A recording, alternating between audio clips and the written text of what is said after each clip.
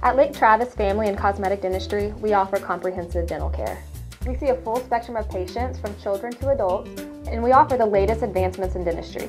We offer two of the best technologies here in our office. One is digital x-rays that are safe, comfortable, and fast. The image appears immediately on the screen so patients can visualize their teeth and treatment options. The second one is an intraoral camera. We can stream a video or capture a video in real time so the patient can see exactly what the dentist sees during the exam.